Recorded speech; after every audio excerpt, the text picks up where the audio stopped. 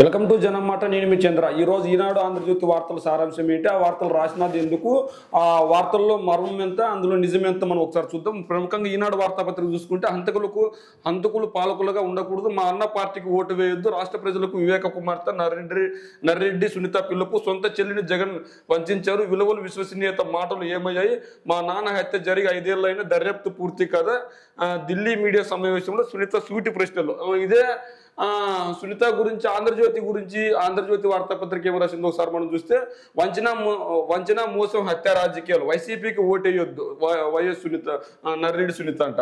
ప్రజా తీర్పుతోనే నాకు న్యాయం వివేక హంతకులను రక్షిస్తున్న జగన్ నా అక్క చెల్లి అంటారే నేను చెల్లిని కాదా? పెత్తందారులు ఎవరు? ఎవరితో మీ యుద్ధం? విశ్వసనీయత విలువలు ఉత్తి మాటలైన వివేక హత్య కేసు విషయంలో గుర్తుకు రావా? న్యాయం కోసం మొదట అడిగింది అన్ననే ఆయన చెప్పిన సమాధానాలతో ఆశ్చర్యపోయా. ఈ కేసులో జగన్ పాత్ర పైన విచారణ జరగాలి. అవినాష్ రెడ్డిని అదుపులోకి తీసుకో తీసుకొని ప్రశ్నించాలి. వివేక కుమార్తె సునీతారెడ్డి డిమాండ్. ఏదైతే వివేక హత్యకు సంబంధించిందో ఆ హత్యకి సంబంధించి ఇవి మాటలు మాట్లాడాలి. జవాబు కావాలి జగన్ అన్న ఏదైతే సిబిఐ విచారణలు తేలిన నిందితుల్లో జాబితాలో అవినాష్ రెడ్డి భాస్కర్ రెడ్డి ఉన్నారు. వారిని జగనన్న రక్షిస్తున్నారు. హత్యలో ప్రమేయం ఉన్న వారిని జగన్ రక్షించడం వారితో దగ్గరగా మెలగడం సొంత చిన్నారని చనిపోతే ఐదేళ్ళుగా ఏ మాత్రం పట్టించుకోకపోవడం చూస్తుంటే నాకు సందేహం కలుగుతుంది. జగన్ పాత్ర పైన విచారణ జరగాలి. నిర్దోషి అయితే వదిలేయాలి. ఆ రోజు ఉదయం గుడ్డులతో వివేకను చంపారని జగన్ చెప్పారు. ఆయన ఆ విషయాన్ని ఎలా చెప్పగలిగారు? దీన్ని కూడా దర్యాప్తులో జవాబు రావాలి. తనపై పదకొండు కేసులు ఉన్నాయి. ఇది కూడా సిబిఐకి ఇస్తే పన్నెండవది అవుతుందని జగన్ అన్నారు. ఆ ఆ పదకొండు కేసుల్లో పదేళ్ళుగా విచారణ కూడా మొదలు కాలేదు ఈ కేసు కూడా అలా ఆగిపోతున్నా అన్నది ఆ నా ఆవేదన. ఏదైతే సునీత నర్రెడ్డి సునీత గారు మా నాన్నగారిని హత్య చేశారు అని చెప్పుకొచ్చిందో ఆ హత్య ఎవరు చేసినా శిక్ష పడాలా అని కోరుకునేది ప్రతి ఒక్కరు కోరుకుంటారు. ఎందుకంటే ఆయన వైఎస్ఆర్ తమ్ముడు కాబట్టి. ఆ తమ్ముడును హత్య చేసిన వాళ్ళని ఖచ్చితంగా శిక్షించాలని ప్రతి ఒక్క వైఎస్ఆర్ అభిమాని ప్రతి ఒక్క వైఎస్ఆర్ ఫ్యామిలీ మెంబర్ కోరుకుంటుంది. అయితే సునీత మాటలు ఏంటి మా అన్నకు ఓటు వేయొద్దు. నువ్వు ఎవరు చెప్పడానికి మా అన్న ఓటు వేయొద్దు అని? ఈ రోజు ప్ర- ప్రజాపాలన సంక్షేమ పాలన రాష్ట్ర అభివృద్ధి పాలన చేస్తుంది జగన్మోహన్ రెడ్డి గారు. మరి జగన్మోహన్ రెడ్డి గారికి ఓటు వేద్దంటావు? మరి ఇంకెవరికి ఓటు వేయాలి? పేదలను హింసిస్తున్న చంద్రబాబు గారికి ఓటు వేయాలా? లేదంటే కొద్ది అన్ని- అన్ని రోజులు హైదరాబాద్లో కొద్ది రోజులు రాజకీయాలు చేసే పవన్ కళ్యాణ్కి ఓటు వేయాలా? అంటే ఇక్కడ మీ నాన్నగారిని హత్య చేశారా అని చెప్తున్నావు. ఆ హత్య గురించి పోరాడు తప్పు లేదు. ఇందులో జగన్మోహన్ రెడ్డి గారికి ప్రమేయం ఉంది. ఎలా చెప్పగలుగుతావు? మరి జగనన్నకి ఎలా తెలుసు ఆ రోజు గుడ్డలతో చంపారని అంటే ఎవరో ఒకరు ఫోన్ చేసి చెప్పింటారు. అవన్నీ ఆలోచించకుండా ఏదో మరి ఇన్ని రోజులు బయటకు రాకుండా ఎన్నికల నేపథ్యంలో బయటకు వస్తున్నామంటే మీ వెనక ఎవరున్నారని అర్థం కావట్లేదా? అంటే ఈ రోజు చంద్రబాబు గారికి పవన్ కళ్యాణ్కి కొత్తగా పనిచేస్తున్నారా? ఈరోజు టీడీపీ జనసేన బీజేపీ పొత్తు పెట్టుకున్న జగన్మోహన్ రెడ్డి గారిపై గెలిచే అవకాశం లేకపోవడంతో ఈరోజు వైఎస్ఆర్ వైఎస్ఆర్ బిడ్డ షర్మిలాని ఒక పావుగా ఆపి ఒక పావుగా వాడుకొని మన రాష్ట్రాన్ని అడ్డుగోలుగా చీల్చి మన రాష్ట్రానికి అన్యాయం చేసింది. అంతేకాకుండా వైఎస్ఆర్ చావుకు కారణమైంది. ప- ఆ రోజు ఓదార్పు యాత్ర చేస్తుంటే చెయ్యొద్దని ఇదే కాంగ్రెస్ పార్టీ చెప్పింది. మరి ఇలా ఎన్నో సంఘటనలు కాంగ్రెస్ పార్టీ ఆ రోజు మన పార్టీ మన పార్టీ మన పార్టీకే ఆ పార్టీకే కాకుండా ఆ రోజు రాష్ట్ర ప్రజలకు ఎన్నో తీరని లోట్లు చేసింది. మరి ఆ తీరని లోట్లన్నిటికీ కారకులు కాంగ్రెస్ పార్టీ కదా మరి అదే కాంగ్రెస్ పార్టీలో ఈ రోజు షర్మిల ఎలా మెలగలుగుతుంది? మరి షర్మిల ఏం ఏమని చెప్పగలుగుతుంది? అంటే సుని శర్మిల సునీతకు పదవులు ఇస్తే మంచిది. పదవులు లేకపోతే చెడ్డోడు జగన్. జగన్మోహన్ రెడ్డి గారు శర్మిల సునీత కోసం సీఎం కాలేదు. పేద ప్రజల కోసం సీఎం అయ్యాడు. పేద ప్రజల కష్టాలు తీర్చడానికి సీఎం అయ్యాడు. అంటే వైఎస్ వివేకానంద రెడ్డి హత్యను ఎప్పుడు జరిగింది? టీడీపీ హయాంలో కదా? మరి చంద్రబాబు నాయుడు గారిని ఎందుకు ప్రశ్నించట్లేదు? నీ హయాంలోనే కదా? నువ్వే ఆ రోజు దోషులను పట్టుకుంటే ఈ రోజు ఈ పరిస్థితి వచ్చేది కాదు కదా? మీరు ఎందుకు ప్రశ్నించలేకపోతున్నారు మరి చంద్రబాబు నాయుడు గారిని? అంటే మీరు చంద్రబాబు నాయుడు గారికి కొత్తగా పనిచేస్తున్నారా చంద్రబాబు నాయుడు గారికి చెప్పిన మాటల కోసం పనిచేస్తున్నారా మరి పవన్ కళ్యాణ్ గారు మాట్లాడతారు. సునీత గారు చెప్తున్నారు మా అన్నకు ఓటు వేద్దాడని పేద ప్రజల కష్టాలు నీకు తెలుసా? ఏపీ ప్రజల కష్టాలు నీకు తెలుసా? ఏపీలో ఏ రోజైనా ఉన్నావా? కనీసం రాయలసీమలో అయినా ఏ రోజైనా ఉన్నావా? ఏపీ ప్రజల కష్టాలు తెలిసిన వాడు ఆ కష్టాలు తీర్చేవాడు వైఎస్ జగన్. ఆ జగన్కు ఓటేస్తుంటే ఓటు వేయొద్దండి అంటున్నారు. ఏ ప్రతిపాదించిన ఓటు వేయొద్దంటున్నారు. హంతకులు పాలకులుగా ఉండకూడదు. జగన్మోహన్ రెడ్డి గారు హత్య చేసినట్లు లేదంటే వైఎస్ వివేకానంద రెడ్డి గారు లేదంటే వైఎస్ వివేకానంద రెడ్డి గారిని అవినాష్ గారిని హత్య చేసినట్లు ఏమైనా కోర్టులు తీర్పులు ఇచ్చాయా? తీర్పులు ఇవ్వకుండా మీరు ఎలా డిసైడ్ అవుతారు? అంటే రాజకీయాల్లో ఉండాలన్నది కేవలం మీ దురుద్దేశం. కేవలం మీ భర్తకేవో పదవులు ఇవ్వలేదని మీ పద్ద మీ భర్తకేవో కాంట్రాక్టర్లు ఇవ్వలేదని ఈ నిందలు వేస్తున్నారు తప్ప అంతకు మించి ఏం లేదు. ఏదేమైనప్పటికీ పేద ప్రజల కష్టాలు తెలుసుకున్నవాడు జగన్మోహన్ రెడ్డి. ఆ పేద ప్రజల కష్టాలను తీర్చేది జగన్మోహన్ రెడ్డి. అంతేకాకుండా మరి ఇంకో వార్త ఏం రాసుకొచ్చారంటే అంతా తికమక గజి గి- గజి బిజి గందరగోళం. మిగిలింది ఎవరో నిలిచేది ఎవరో బరిలోకి దిగేది ఎవరో. సమన్వయకర్తల పేరులో మా మళ్ళీ మార్పులు. ఈ వికృత బా ఆ, బాతండలు అత్యధిక బలవుతుంది బడుగులు. ఇది వైకాపా నియోజకవర్గాల సమన్వయకర్తల నియామక తీరు. ఇది ఈనాడు అదే దీనికి సంబంధించి ఆంధ్రజ్యోతి కూడా ఒక వార్త రాసింది. ఆంధ్రజ్యోతి ఏమని రాసింది? ఆ ఆంధ్రజ్యోతికి డిజైన్ వార్తకు సంబంధించి ఒక వార్త రాసింది. నెల్లూరులో ఎంపీ విజయ్ ఎంపీ నెల్లూరులో ఎంపీ అభ్యర్థిగా సాయిరెడ్డి మంగళగిరిలో గంజి చిరంజీవి అవుతూ అక్కడ ఎమ్మెల్సీ మరుగుడు కోడల మురుగుడు కోడలుగా ఛాన్స్ కర్నూలు అసెంబ్లీ ఇన్ఛార్జిగా ఇతిహాస్ మూడు మూడు పేర్లతో వైసీపీ తొమ్మిదవ జాబితా విడుదల. అభ్యర్థులు దొరక జగన్ అగసార్లు పిఠాపురం బరిలో మధురగడ ఆయన వైసీపీలోకి తెచ్చేందుకు యత్నాలు నేడు టీటీడీలో టీడీపీలో వసంత వైసీపీ ఎంపీలు వేమిరెడ్డి లావు కూడా ఎమ్మెల్సీ జంగ కృష్ణమూర్తి సైతం మైలవరం నుంచి కృష్ణప్రసాద్ పోటీ నెల్లూరు సభలో పిఆర్ గురుజాల్లో లావు కృష్ణమూర్తి చేరిక. ఏదైతే వైఎస్ఆర్ కాంగ్రెస్ పార్టీ నిన్న తొమ్మిదవ జాబితా విడుదల చేసింది. ఆ తొమ్మిదవ జాబితాలో వైఎస్ఆర్ పార్టీకి అభ్యర్థులు దొరక సీట్లు మారుస్తున్నారని చెప్తుంది. వైఎస్ఆర్ కాంగ్రెస్ పార్టీకి అభ్యర్థులు దొరక కాదు. వైఎస్ఆర్ కాంగ్రెస్ పార్టీకి అభ్యర్థులు ఎక్కువయ్యి ఎవరిని నిల్చోబెడితే ఈజీగా గెలుస్తారో వాళ్ళకి అవకాశం ఇస్తుంది. మరి బడుగులకు అన్యాయం చేసింది వైఎస్ఆర్ కాంగ్రెస్ పార్టీ అని రాస్తున్నారే వీళ్ళు? మరి ఇదే మంగళగిరి నియోజకవర్గంలో పోటీ చేస్తున్న నారా లోకేష్ గారు ఏమన్నారు? నేను బీసీ వ్యక్తులపై పోటీ చేయను అన్నారు. మరి ఈ రోజు జగన్మోహన్ రెడ్డి గారు గంజి చిరంజీవికి ఇచ్చినా కూడా లేదంటే మా అక్కడ మురుగుడు కోడలకి ఛాన్స్ ఇచ్చినా కూడా బీసీలకే ఇచ్చాడు కదా. మరి బీసీలపై ఇదే నారా లోకేష్ ఎలా పోటీ చేస్తాడు? మరి ఈ రోజు ఒక కర్నూలు ఎమ్మెల్యేగా ముస్లింని ఇచ్చారు. అక్కడ కర్నూలు ఎమ్మెల్యేగా ఉన్నది ముస్లిం ఇంకో అబ్బాయి ఇంకో వ్యక్తిని తీసుకొచ్చింది ముస్లింనే కదా.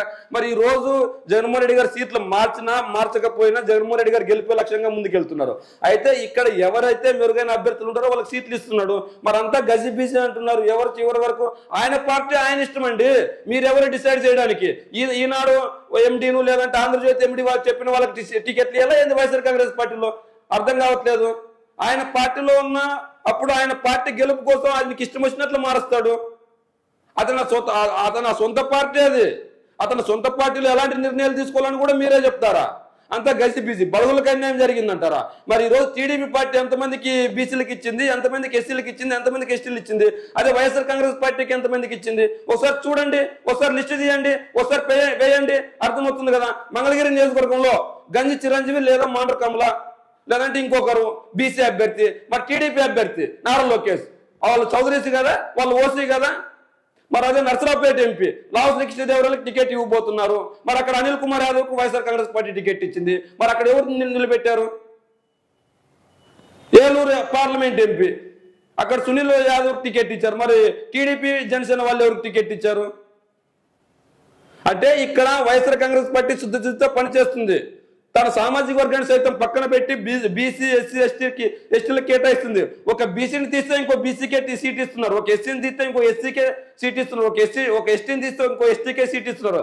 కానీ ఒక రెడ్డి తీస్తే ఒక రెడ్డిని మాత్రం తీస్తే ఇంకో రెడ్డికి ఇవ్వట్లే. ఒక బీసీకో ఒక ఎస్సీకో ఒక ఎస్టీకో ఛాన్స్ ఇస్తున్నారు. ఒక మైనార్టీకో ఛాన్స్ ఇస్తుంది వైఎస్ఆర్ కాంగ్రెస్ పార్టీ. మరి ఆ పని టీడీపీ పార్టీ ఎందుకు చేయలేకపోతుంది? ఈ రోజు కాంగ్రెస్ వైఎస్ఆర్ కాంగ్రెస్ పార్టీకి అభ్యర్థులు దొరక్క టికెట్లు మారుస్తున్నారని చెప్తున్నారు. మరి ఇదే తెలుగుదేశం పార్టీకి అభ్యర్థులు దొరికి ఎక్కువ వైఎస్ఆర్ కాంగ్రెస్ పార్టీలో పనిచేసిన ఇన్నాళ్ళు వైఎస్ఆర్ కాంగ్రెస్ పార్టీలో పనిచేసిన వ్యక్తులకి ఈరోజు టికెట్లు ఇస్తుందా?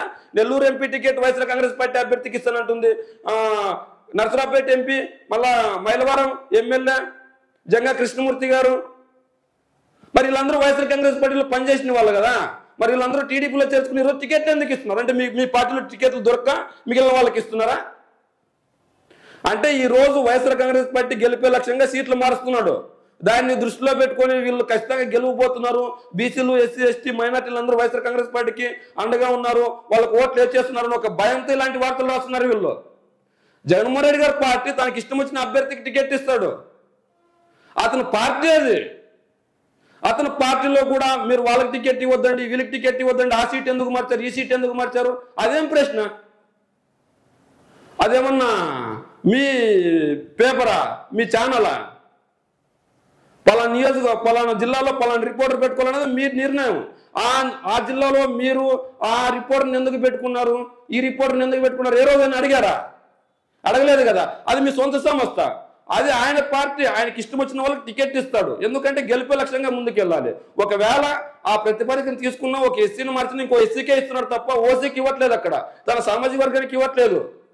అంటే ఈ రోజు జగన్మోహన్ రెడ్డి గారు గెలిపే లక్ష్యంగా ముందుకెళ్తుంటే వీళ్ళు ఏడుస్తున్నారు. ఎందుకంటే వచ్చే ఎన్నికల్లో జగన్మోహన్ రెడ్డి గారు ఖచ్చితంగా గెలుస్తారు కాబట్టి. ఏదేమైనా జగన్మోహన్ రెడ్డి గారు గెలిపే లక్ష్యంగా సీట్లు మారుస్తున్నాడు. ఆ సీట్ల మార్పులో నిన్న కొన్ని మార్పులు చోటు చేసుకున్నాయి. ఏదైనా జగన్మోహన్ రెడ్డి గారు గెలిపే లక్ష్యంగా ముందుకెళ్తున్నారు. మరి ఆ ఈనాడు ఇంకో వార్త ఏం రాసుకొచ్చింది చూద్దాం చూసుకున్నట్లయితే విద్యార్థుల ఖాతాల్లో ఏడు వందల ఎనభై ఏడు వందల ఎనిమిది కోట్లు జమ విద్యా దీవెన నిధులు విడుదల సీఎం విడుదల చేసిన సీఎం జగన్. విద్యార్థుల ఖాతాల్లో ఏడు దాదాపు ఏడు వందల ఎనిమిది కోట్లు విడుదల చేస్తే కనీసం జగన్మోహన్ రెడ్డి గారి భారీ బహిరంగ సభ పెట్టి విద్యార్థులతో మాట్లాడిస్తే ఆ మాటలు ఏం వీళ్ళు లేరు. ఆ సభ గురించి ఏం రాయరు వీళ్ళు. ఎందుకంటే జగన్మోహన్ రెడ్డి గారు ఎవరికి మేలు చేసినా వీళ్ళు ఖచ్చితంగా వాళ్ళ గురించి తప్పుడు వార్తలు రాస్తారు తప్ప ఏం లేదు. ఎందుకంటే కేవలం ఏడు వందల ఎనిమిది కోట్లు విద్యార్థుల ఖాతాలో జమ చేశారని రాశారే. అక్కడ జగన్మోహన్ రెడ్డి గారు ఏం మాట్లాడారు ఆ సభకు ఎంతమంది విద్యార్థులు వచ్చారు? ఆ సభకు వచ్చిన పరిస్థితి ఏంది? మరి అట అటువంటి ఫోటోలు ఎందుకు వేయలేదు? అదే టీడీపీ అధినేత చంద్రబాబు నాయుడు గారు కనుక ఒక పది కోట్లు ఇరవై కోట్లు కూడా చేస్తే గన దాన్ని భూతత్వంలో పెట్టి ఇంతకంటే అభివృద్ధి లేదు అన్నట్లు రాస్తారు. మరి జగన్మోహన్ రెడ్డి గారు పేద విద్యార్థులకి ఏడు వందల కోట్లు ఇస్తే మరి ఆ ఏడు వందల కోట్ల అభివృద్ధిగా మీకు కనిపించట్లేదా? మరి వాళ్ళ చదువులకు డెవలప్మెంట్ కదా? అది మరి మీరు ఎందుకు రాయట్లేదు? మరి ఎందుకు చూపించట్లేదు? కేవలం చిన్న వార్త రాసి ఊరుకున్నారు. అంటే జగన్మోహన్ రెడ్డి గారు ఖచ్చితంగా ఏ మంచి పని చేసినా వీళ్ళు రాయకుండా ఉండినంత మాత్రాన ప్రజలు చూడకుండా ఉండరు. ఎవరైతే లబ్ధి పొందింటారో వాళ్ళు ఎవరు మంచి చేశారు ఎవరు మంచి చేయట్లేదని వాళ్ళకి పూర్తిగా అర్థమవుతుంది. ఎలాగైనా జగన్మోహన్ రెడ్డి గారిని గద్దెదించడం లక్ష్యంగా ఉంది. ఇది ఆ, ఈనాడు వార్తాపత్రిక సంబంధించి ఆంధ్రజ్యోతి ఇంక రెండు ఇంక రెండో మూడు ఉన్నాయి. ఇక్కడ సునీత చదివాం గ- గల్లీలో పులి ఢిల్లీలో పిల్లి. ఏపీని ఏపీని హత్య చేశారు. ప్రత్యేక హోదా రాజధాని డిఎస్సీ అంతా జగన్ దగ్గర ప్రత్యేక హోదా పదేళ్ళు ఇస్తాం. ప్రతి ఇంటికి ఐదు వేలు అభయహస్తం తిరుపతి సభలో పిసిసి చీఫ్ వైఎస్ శర్మల ప్రత్యేక హోదాపై డిక్లరేషన్ విడుదల.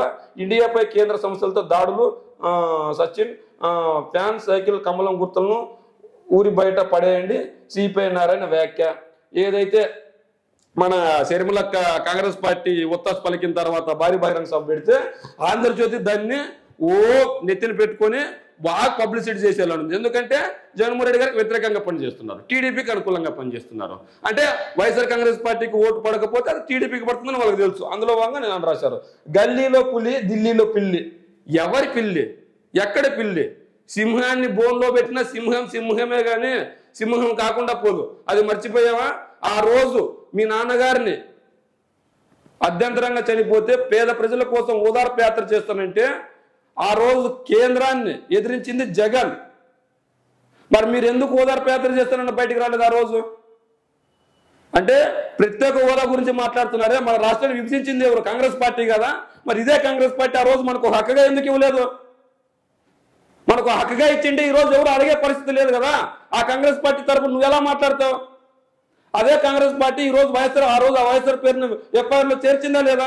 సమాధానం చెప్పమంటే నా గుండెకి తెలుస్తుంది అంటారు. నీ గుండెకి తెలియాలా? ప్రజలకు తెలియాలి. నీ గుండెకి కాదు. గుండె ఎక్కడైనా వింటుందా? నీ గుండెకి కాదమ్మా తెలియాల్సింది. ప్రజలకు తెలియాలి. ఎఫ్ఐఆర్లో పేరు పెట్టారా లేదా? సాక్ష్యాధారంతో సహా ఎఫ్ఐఆర్లో కాంగ్రెస్ పార్టీ ఆ రోజు వైఎస్ఆర్ పేరుని పెట్టింది. మరి ఈ రోజు ఎందుకు అదే కాంగ్రెస్ పార్టీకి ఒత్తాసగా పలుకుతున్నావు? ప్రత్యేక హోదా గురించి మాట్లాడుతున్నవే? పదేళ్ళు పదేళ్ళు ఇస్తామని. మరి అదే పదేళ్ళు ఆ రోజు ఒక హక్కుగా మనకి ఎందుకు లేదు? రాష్ట్ర విభజన హామీలు ఒకటిగా. మన ఆ రోజు తెలంగాణలో ఉన్న భూములను ఆస్తులను ఆ రోజు మనకు హక్కుగా ఎందుకు తీసుకొని పోండి అని అడగలేదు ఇవ్వలేదు? అంటే మన కాంగ్రెస్ పార్టీ దగా చేసింది మనకు. ఈ కాంగ్రెస్ పార్టీని చంపింది ఈ కాంగ్రెస్ సారీ ఈ ఏపీని చంపింది కాంగ్రెస్ పార్టీ. ఈ ఏపీకి అన్యాయం చేసింది కాంగ్రెస్ పార్టీ.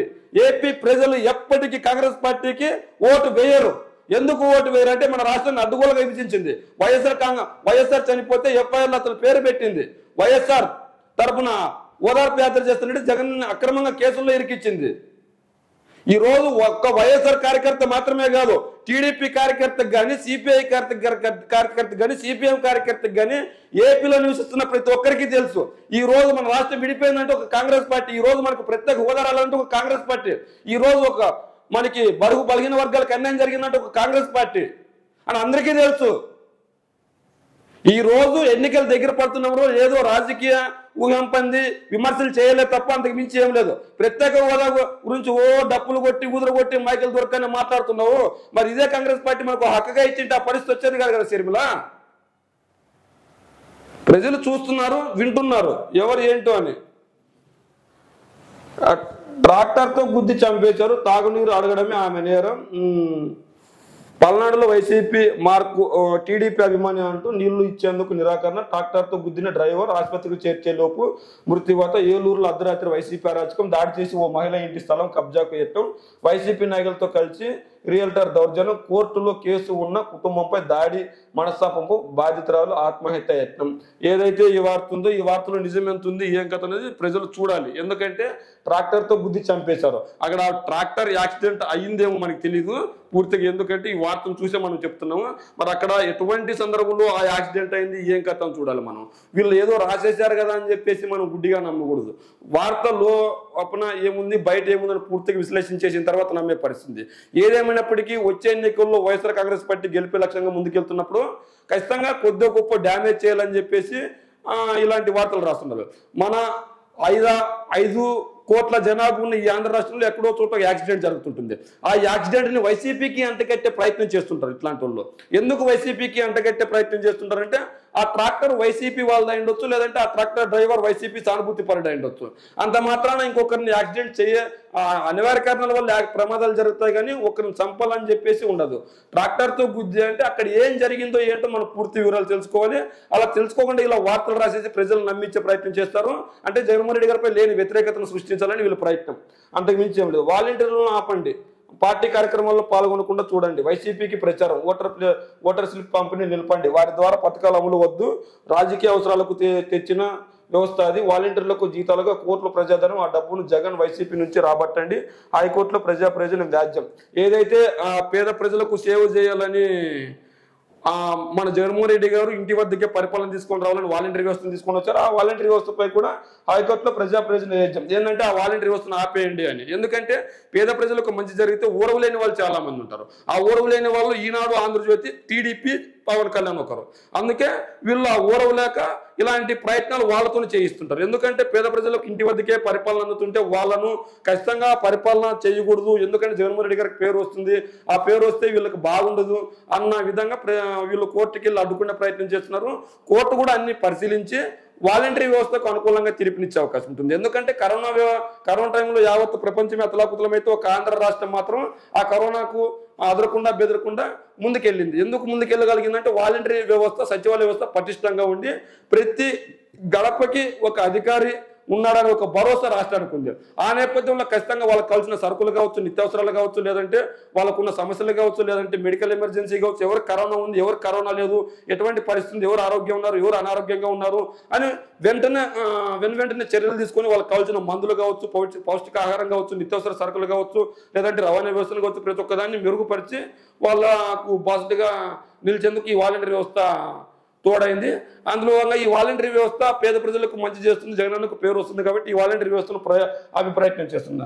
మార్చి నుంచి వడగలుపులు తెలుగు రాష్ట్రాలకు వాతావరణ శాఖ హెచ్చరిక ఏదైతే ఆ ఎండ ఉందో ఈ ఎండాకాలంలో ప్రజలు ఎవరికి బయట ఎక్కువగా పోకండి. ఎందుకు ఎండో ఎండకు బయటకు ఎక్కువగా పోకండి అంటే వడదెబ్బ పడే వచ్చే అవకాశం ఉంది. ముఖ్యంగా వయసు అయిన వారు ముఖ్యంగా ఇళ్ళలోనే అంటే అందరూ ఇళ్ళలోనే ఉండే ప్రయత్నం చేయండి. ఆ, మార్చి నుంచే వా- వడగాల్పులు తెలుగు రాష్ట్రాలకు వాతావరణ శాఖ హెచ్చరిక. మే వరకు దేశంలో తీవ్ర ఎండలు జూన్ చివరి నాటికి ఎన్నివో బలహీనం. నైరుతి సీజన్ రెండో భాగంలో నుంచి ఎండ మండే అవకాశం ఉంది. ఆ మండే అవకాశం నుంచి ఖచ్చితంగా ఈ ప్రయత్నం అయితే ఉంది.